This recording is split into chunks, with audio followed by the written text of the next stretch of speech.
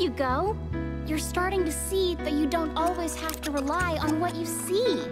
Sometimes your other senses can get you through. You use your eyes to see what's in front of you. They tell you most of what you need to know.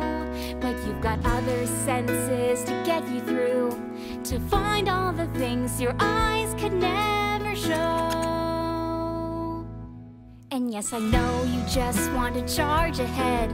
But there may be things that block your way. Instead of looking, feel all around instead. And you'll sense what lies ahead from a mile away. When it's cloudy or dark and you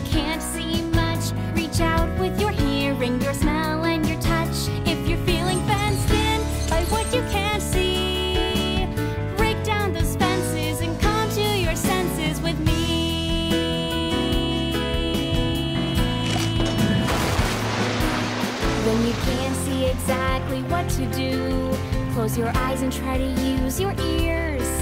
Listen close and hear what's in front of you.